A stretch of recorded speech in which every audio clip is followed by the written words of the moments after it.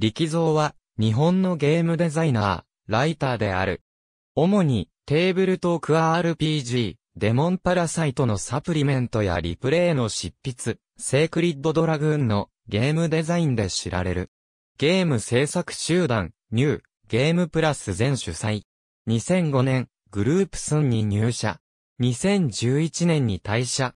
グループスンからの独立後、フリーランスのゲームデザイナーとして活躍した後、2018年より、ゲーム制作集団、ニューゲームプラスを主催。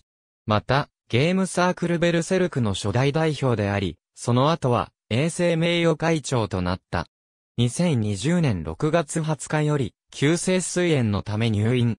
同月30日、精密検査の結果、ステージ3の膵臓癌と判明していたことを発表した。また、これまでゲーム制作集団ニューゲームプラスの主催を務めていたが、入院及び長期療養に入るため、主催を枯らすば、晴れに交代したことも合わせて発表した。8月15日に退院。手術の結果、膵臓、十二指腸、脾臓、胃の3分の1を切除し、膵臓と十二指腸を失ったことで、水性糖尿病を患う。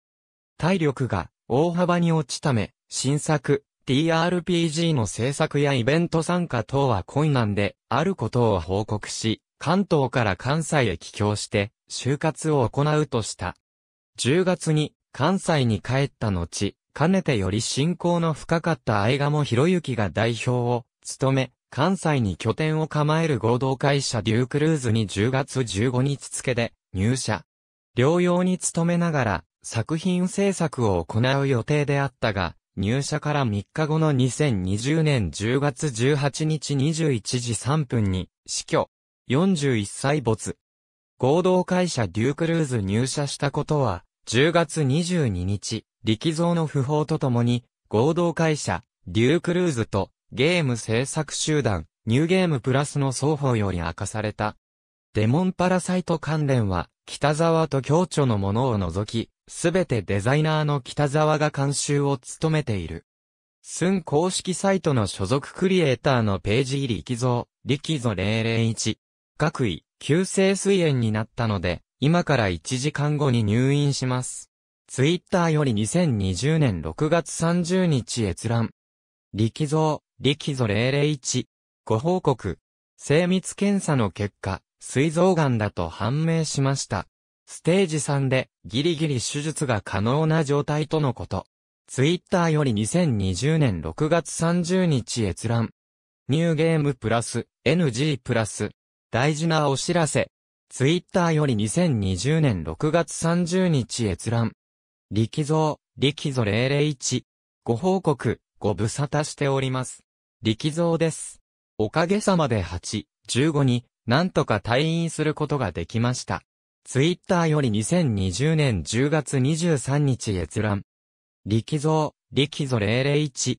しかし、主要の進行上、膵臓、十二指腸、脾臓、胃の3分の1を切ることになり、膵臓と十二指腸を失った結果、水性糖尿病と呼ばれる糖尿病になりました。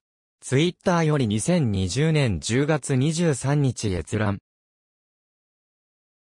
力蔵、力蔵001。新作、TRPG の制作や公式イベントでの GM は、この体では、もう難しいです。ツイッターより2020年10月23日閲覧。力蔵、力蔵001。というわけで残された命を後悔しないよう使うため、近いうちに、故郷の関西に帰り、先に就活を済ませておいてから、神我が仮シリーズの完結に取り掛かろうと思います。ツイッターより2020年10月23日閲覧。ゲームデザイナー力蔵氏の入社と、不法のお知らせ。デュークルーズ2020年10月23日閲覧。不法のお知らせ。ニュー、ゲームプラス公式サイト。2020年10月23日閲覧。ありがとうございます。